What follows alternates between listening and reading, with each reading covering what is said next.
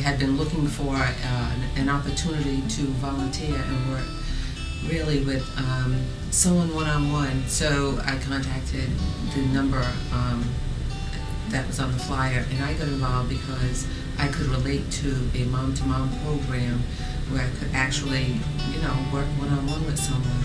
It was my second child that I actually got a volunteer, and this is my friend Tanya, and um, she's wonderful. And I, I was nervous at first because I didn't know, you know, how that would work out. Um, but she's, I'm so glad, I'm so glad that I met Tanya. I got involved in this program because um, I saw a little ad in the newspaper looking for volunteers. And I think it's a great thing for someone who has a history of postpartum depression to work with other women who might have the same problem. And I wish I'd had that when I had my children 26 years ago. I think that this is really a great program. I wish it was around when I was a first time mom because being a first time mom, you try to have everything perfect and you want everything to be perfect, and that just adds so much stress in addition to having a newborn or a first time baby. So, this is great. I had a very difficult time early on. Um, Ethan was very challenging, and I, I definitely felt like I needed some more support. I was placed in it in a way, in about, because um, the lady that works with me kind of like knew that I needed extra attention, I guess is the word I'm looking for. I got involved in it because uh, I unexpectedly found out I was pregnant after, and I have a 12 year old son, and it was very scary. And, uh, and I also uh, suffer from depression. So, and I was just looking for resources, and I ended up uh, finding Families First uh, through a link on the Women and Infants uh, Hospital website. And when I read about the program, I just thought it sounded really great. I was a little down with my baby, and they suggested me to come to a program because I don't do medication. I'm not very into that. And I'm like, this has to be willpower because it's a feeling, willpower to to get everything back together and stuff with a new baby. Actually, a friend of mine um, was working in the program and had asked me about it, and uh, I'm kind of an empty nester. My girls have both um, had gone off to college and left, and so um, I'm retired.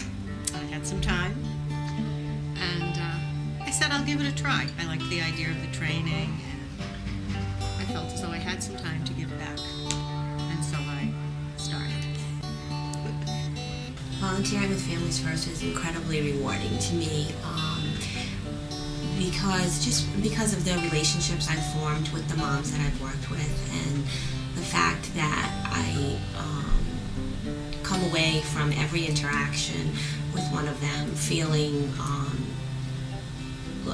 the weight of the um, significance of being um, a stable force in someone else's life, um, providing the mentorship that is so needed um, in our society today for new moms. Um, it's such a difficult time for many people, and just to be an ear for that person and provide some support. Ethan has been very challenging, very colicky, and initially I felt I was having a lot of trouble isolating myself because I felt bad asking people to come in and help, knowing how difficult he was. And um, it's nice to know that there are volunteers, there's women willing to come in, and even if he screams, you know, for an hour, they're okay with that. and it was really hard for me to understand that because I, I know how difficult it was for me at home, and I didn't want to to put somebody else in that in that spot. Well, I have pretty serious postpartum depression, and um, I have a tendency to really isolate myself when I get down and just not make any phone calls and not see anybody or go out. And Tanya did not let that happen. She just really, she kept um, calling and keeping in contact and getting me out for a walk or whatever, and really helped a lot. Um, so it hasn't been as difficult this time as it was with my first child. For me, it's also gotten me out of the house. It also led me to a completely different career path than I would have anticipated.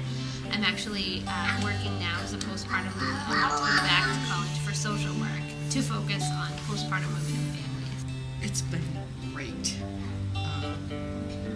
I just totally enjoy it. Um, it was a little unnerving the very first time going into a new house, meeting a new family, but by the end of my first visit, I just felt like it's going to be fun. It's going to be good for me, and I think it'll be good for her too. I've had a lot of mothering experience. For me, the helpful part is having someone to call, getting some other advice, another mom's advice with experience. Well, she was there when to help me with the baby when I needed to be like a little calm, like downtime for myself. She'd play with the kids and I had like five minutes to myself, or if I just needed to speak to somebody, she's there. And then she told me if I need anything, I could call her, which I didn't call her because sometimes I wanted to call her really late. So I decided not to call her because it's a little awkward, but she was always there and she's there and she listens when I need her. Yeah, I, I would I would highly recommend it to a volunteer. Um, you know, it's just for me the program was more than just um, being there for the year and just um, you know just sitting there and just finding out you know where the person was. I think it's we just connected, and I think the matching part of the program is the beauty of it because if you get the right match, I think you can do wonders in each other's lives. Oh, absolutely.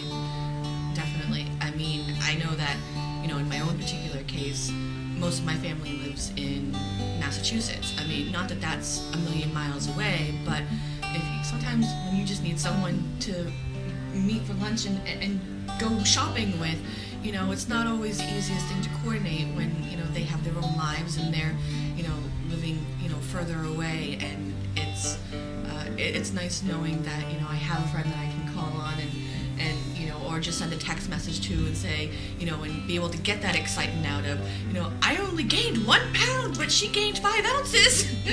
You know so it's it's nice to be able to do that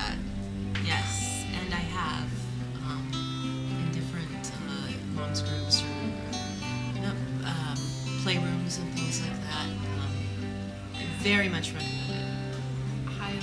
And actually, I I brought a friend today, and um, I would highly recommend it. I think it's great. Oh, most definitely.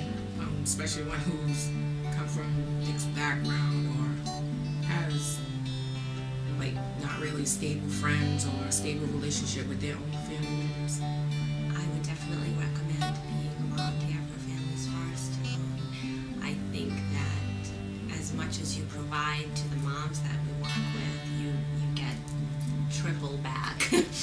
um, and it's very easy to do. It doesn't take up a lot of your time, um, you know, an hour or two a week, and um, the rewards are, are great.